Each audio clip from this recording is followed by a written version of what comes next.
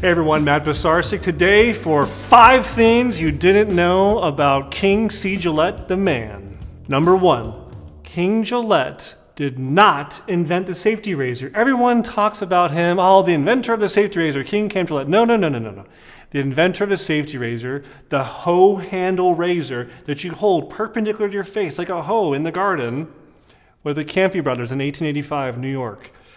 So what Gillette did was invent the disposable safety razor blade, the thin little wafer sheet of sheet metal that was sharpened at two sides that you could throw away and have to ask for another one. That's what Gillette invented. The perpetual customer, the razor and blade model, the disposable marketing, the printer and ink model, the cars in the service department, all these ways in which you have a loss leading product and then you actually have the profit center, uh, which was what is needed, a consumable. Number two, in 1903, the first year of production, Gillette Safety Razor Company only sold 51 razors. That's not a lot. I mean, I think in the first year of Rex, we sold a couple hundred uh, razors, so that's not very, very high. But it was also a $5 razor. A lot of the time, most razors were a buck or so. Uh, it came in at the premium price. A lot of people balked at it, but it also changed the way people bought things forever thereon after with disposable marketing, as we just mentioned. Number three, Gillette was utopian socialist, authored several books like this one, and thought that we all should live in a giant city powered by Niagara Falls.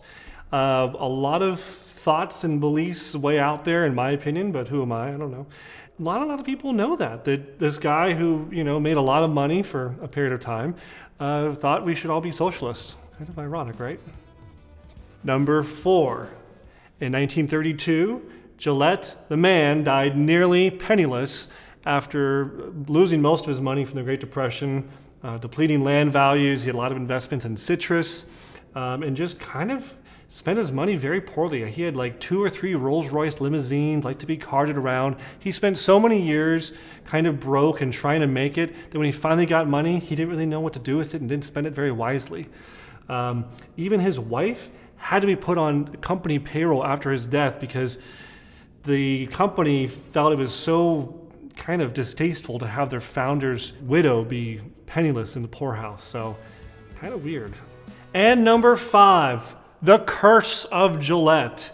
It seems as though anytime the Gillette Corporation started to endorse a athlete or a you know, sports team, they suddenly didn't do very well.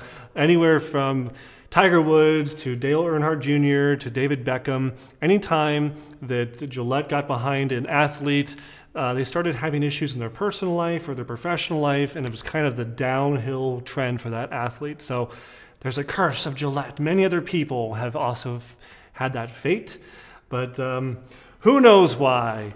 Uh, if you know more about the King Gillette the man, any other things you want to add, what's number six? What's number seven? Please tell me in the comments below. And if you do leave a comment, you're interested to win this, the official Razor Emporium Black and Blue t-shirt. Thank you for watching all things about King C. Gillette the man. That's all I got. We'll see you next time at Razor Emporium for all things vintage shaving. Thanks, guys.